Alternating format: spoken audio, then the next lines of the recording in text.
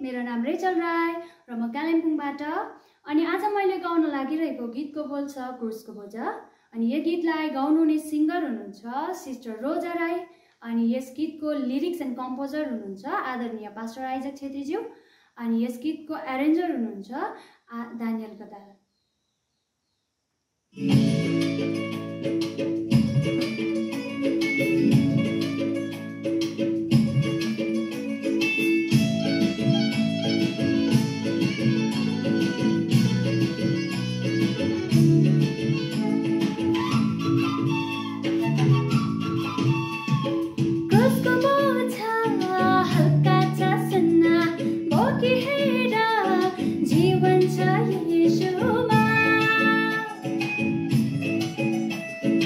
उसको बोझा हल्का सा सुनना वो कि है